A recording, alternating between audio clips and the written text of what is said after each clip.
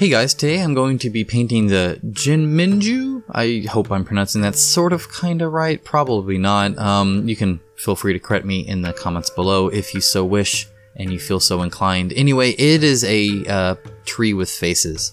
Uh, this is actually a really, really fun paint. Uh, it, it, it's pretty simple. Uh, there's some hard parts uh, sticking in, in, in between the in between the tree branches a little bit. Uh, not too bad though. Uh, not a whole lot of colors, and spoiler, but I get to use vomit on this, so anytime I can say that I needed vomit to paint a tree, I'm pretty excited. I actually looked into this a little bit, and I guess the faces are actually its fruit. Um, I wouldn't eat it. Like, how do you know it's it's fruit? Anyway, I don't know. Uh, anyway, pretty cool. So let's uh let's start. Okay, so as always, I start with uh, the prep work, and uh, here it's very minor actually. That gap it's probably the most egregious thing on this miniature, and that's really easy to handle. So otherwise, just a little bit of trimming on the roots, and that's about it. There's there's technically a little bit on the faces, um, not a whole lot. Um, yeah, it's actually pretty simple. I will say I was kind of disappointed in some of the faces. The mold just doesn't work, and I think it's just uh, with however uh, CMON does this, um, hair and faces or skulls kind of are, are hard to get. Um, you saw it with the um, the first Oni I painted as well, the Oni of Spite. Uh, so here I just have some liquid green stuff from Citadel and then the Citadel scraping tool and I'm just getting it a little wet and then plopping it on there and uh, pretty easy stuff honestly. I I don't even really scrape it. Again, this is a tree, so it's supposed to have texture, so I'm not too concerned about it. I'm scraping it as I'm putting it in there, but otherwise I'm fine. Here I am showing that I am priming this in gray, so it is primed, it's just gray, so it's kind of hard to tell sometimes. And then we get out the Stirland Mud. So you might recall me using this from the uh, Nure-Onna that I painted previously. I actually painted this guy first, I'm just now getting around to editing uh, this one. And I must say, I do like this texture. It, it just, it works really well and doesn't uh, add a lot of a lot of depths to the base. So I'm going to fast forward uh, as you saw right there and uh, just kind of skip that. It's a very kind of long process to really get it inside of there, but you just go around and, and uh, push it inside there. And in fact, you need a little bit more. So here I have a brush that I don't really care about and I'm scooping up the texture and then putting it inside there where I can still see gray. And then I'm also bringing it up a little bit onto the roots. Alternatively, you could paint the tree first and do this on top of it. I think you're going to get the same amount of blending either way, so I'm not too concerned with it. Alright, and then we go on to Monster Brown. This is going to be my base coat, and I'm going to darken it a little bit, but I don't want it too dark, because I really want it to pop out of this mud a little bit. Um, so I'm going to paint a little bit lighter, but I'm going to add a lot of different colors to this. You'll see it uh, by the end here, but it, it's going to be a quite different color from this. This is very much just a base color. Um, and I'm going to paint, you know, the, the trunk and the branches are easy, but then there are all the pieces that are coming like out of the, the, the faces' mouths. And, uh, it, it's debatable on, on what you want to do there. I think it's going to be time consuming either way. So I'm going to say my reasoning. So I am going to paint all of the branches right now instead of painting the hair first. Theoretically, you could paint the hair and just paint everything in the hair and do the hair a little bit quicker and then paint this brown on top. But because the hair is darker, you might need two coats. Um, additionally, with it darker, see, even now, it's kind of hard to always find the branches because they look a lot like the hair too, um, until you paint them. And in fact, I miss one. You, will see it later on when I'm, I'm, painting the hair. I have to paint around it, and it's just gray. I, I missed the branch. I feel I would have missed even more if it was dark, um, or at least it would have taken me a lot. It would have been a little bit more of a, a, challenge to paint it once it was all dark. It would just, I think, kind of all look the same. So I'm painting them in now, and then I have to paint around them when I paint the hair. Um, it is defined enough to where I didn't have to touch up any, which is good, uh, but it, it is kind of time consuming. So just take that into account. And by time consuming, I mean I, I spent about two and a half hours on this miniature, so it wasn't wasn't terrible for a miniature this size, but it is quite simple, and you could probably do it quicker if you painted the hair first.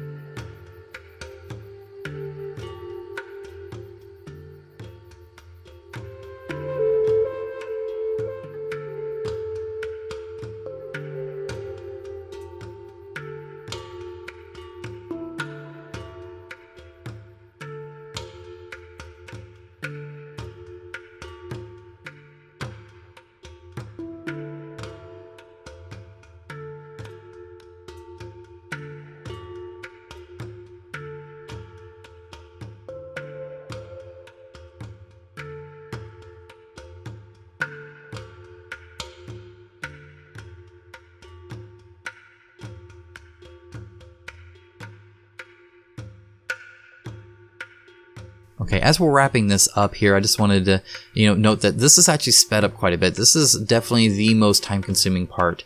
Um, in fact, I think this took longer than the hair. Maybe the hair takes a bit longer, but I, I actually don't think so. Um, so it, anyway, it, it just, it takes a while.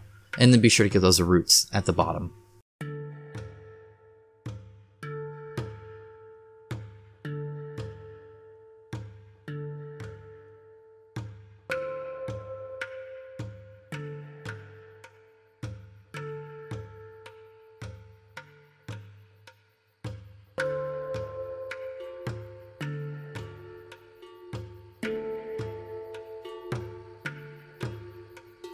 Okay, so now we're moving on to the hair, and we're going to start with Dark Stone. Again, this is a base color. I'm going to be adding several different colors to this to really gunk it up. Really, this tree just looks disgusting by the end of it, and that's kind of the whole point. It's supposed to look gross and nasty. So if you look at the concept art, I imagine the hair is probably supposed to be black, but in the concept art, it's not black like anywhere because there's it's just slimy and mossy and dirty and it, either way. So i picked a very dark kind of brown here. This or a dark it's kind of a brown gray. Uh, anyway this is dark stone and uh, i think it's a really good base color that i can i can lighten up but also still darken.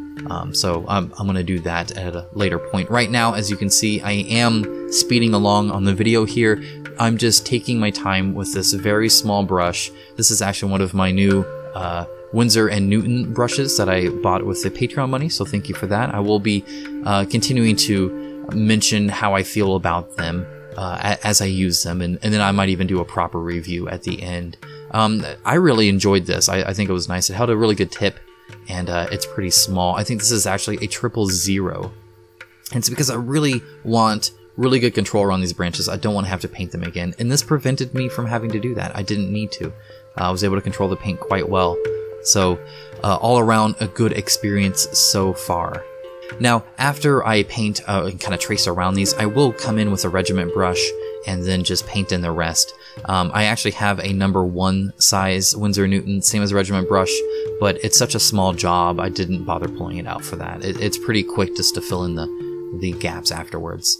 And be sure to uh, also trace around the, the faces here. Those faces are going to be quite uh, bright, and so you don't want to add this dark color to it.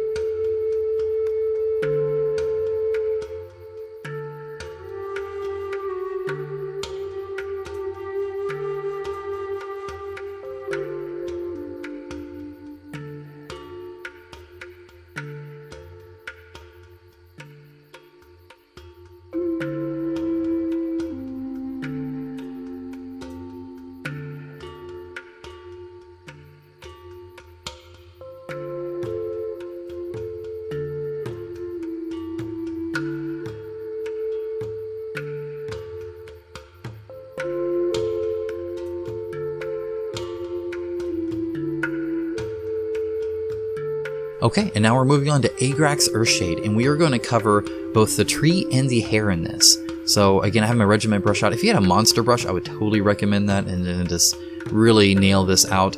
Um, I think it would be easy enough to avoid the faces. That's it. The faces and the base are the only thing you're not messing with right now. Everything else is uh, covered in this Agrax shade. So the tree branches coming out of the face and the hair are going to have this wash.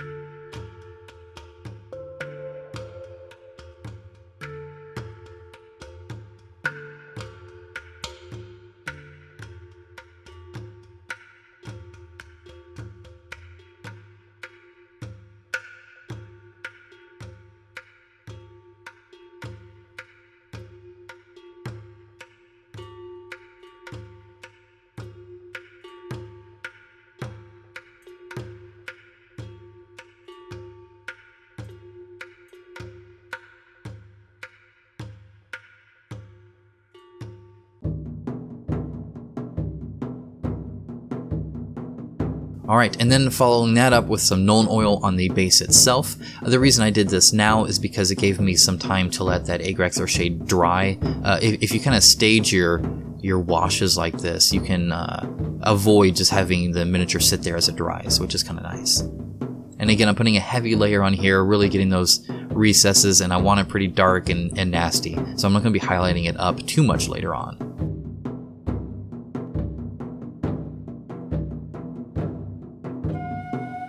Alright, so next up is Vomit. This step right here is slightly debatable. Um, I'm going to end up adding Vomit again later, and you could probably just do it all at that time. Uh, I'm, I'm fine doing it now because uh, it'll, it'll still get kind of uh, blended in with everything else, but you could probably skip doing it now.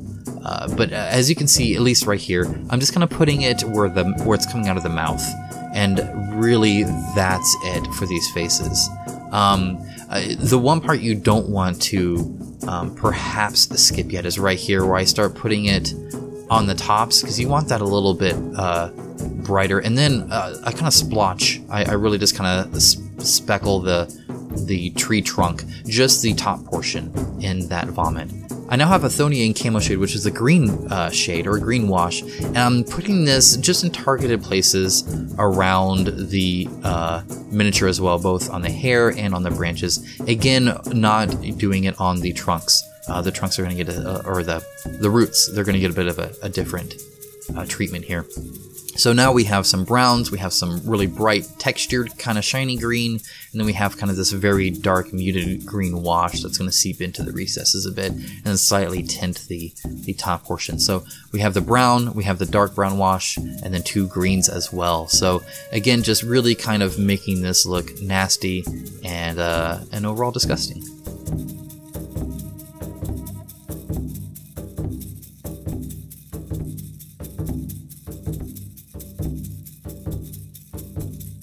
Okay, so now I have the uniform gray out, and this is for the roots. So again, uh, on the concept art, they look a little bit, I guess, drier is probably a good term for it. Um, and so this is just to give it a little bit of diff, you know, just change it a little bit. Um, between the roots and the trunk. But I am going to come back over here in Agrax Shade and just kind of blend it in a little bit. So I'm doing what I did with the Athonian Camo Shade, where I'm just splotching it in kind of places. I'm not really washing it, and it's just kind of the top part, but kind of mixed in. So it goes from kind of heavier at the top of the roots to lighter at the bottom. Okay, next up is Werewolf Fur, and this is for the Mud Dry Brush. I did the same with the Nure-Onna, and I do like how it turned out. It's a, a, a, very light, you could go a level higher and do a light highlight, especially in certain spots. I think Mud would look great, not too uniform. How this dries though, the dry brush naturally lends to kind of splotches, where there are, are pieces that are, are heavier dry brush than others because it's flatter. Uh, but I think this did really good. Alright, next up is Oak Brown. This is a good um, rim color for the base, uh, as it matches the mud quite well. I think it, it's it's uh, almost right where the mud was before the wash, so a good color to use there. Alright, so now we have Rotten White out. This is another uh, technical paint or effects paint from Vallejo, and this is for the faces. And what Rotten White seems to me, I didn't, you know, necessarily do a whole lot of looking up here. I just kind of played around with it, but it's a, it's quite white um, with a tiny bit of yellow in there, and it's slightly clumpy um, on purpose, not not like a bad clumpy. Um, just a li- it's not quite a flat. It's very matte. Um, but yeah, anyway, it just kind of a a nasty color. I imagine on bigger portions it look even grosser with a little bit of the clumps in there, but you can kind of see them on there already. It just it's pretty gross. Um, I did need two coats of this to give proper coverage, so I only filmed one. The second one is off camera. Anyway, just uh, take your time and uh, be careful because you don't want to have to touch up too much. I did touch up a few of the strands that go over the face. That's fine. It's easy to do.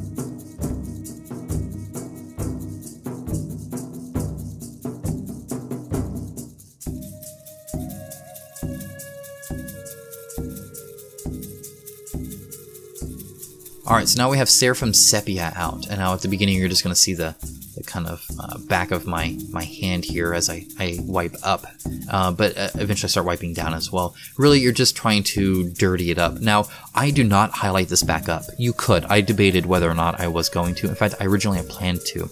But after looking at it, I thought it, it was just bright enough to not really... I didn't want them to like pop out. I didn't want them to I didn't want to look like a spotted tree, right? And so I think the Seraphim Sepia, just sitting on this rotten white, brings it to a really good color that blends in, but it's still brighter and noticeable. So I leave it as is.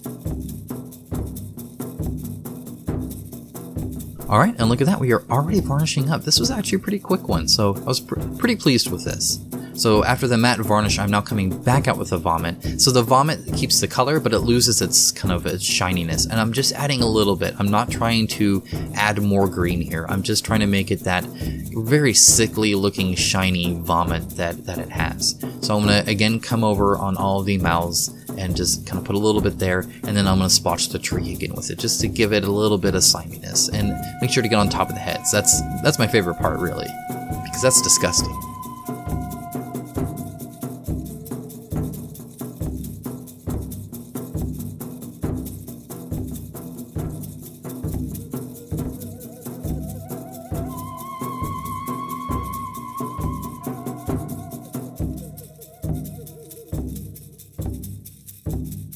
Real quick, this is the vomit. This is dried. That's just the shininess it has. It looks like a somebody blew their nose on my napkin. But anyway, here is the finished miniature. This is it completely done. Again, a fairly easy paint job, uh, a lot of fun to do. Anytime you're uh, messing up or making anything look dirty, whether it's metal armor, whether it's this tree with vomit on it, uh, it's kind of hard to mess up because it just is supposed to look haphazard and gross and disgusting. And so you can just kind of blotch away and overall, you know, do a, a, nasty job of it. So I really like this miniature. I think it's a fantastic model. A little unfortunate about some of the faces. You can see one here at the kind of the front there. A, a little loss of definition, but otherwise really impressed with the hair going over them and the, the just the branches coming out. Overall, a very cool miniature. Anyway, I wanted to thank my uh, patrons as well. You can see them on the screen now. Thank you so much for your support, uh, both uh, the ones that pledge at these tiers and the others, and of course just all of you viewers as well. I really appreciate it. You guys make it so worth it. I always enjoy your comments, and I look forward to reading them. Thanks so much, guys, and I'll talk to you again soon.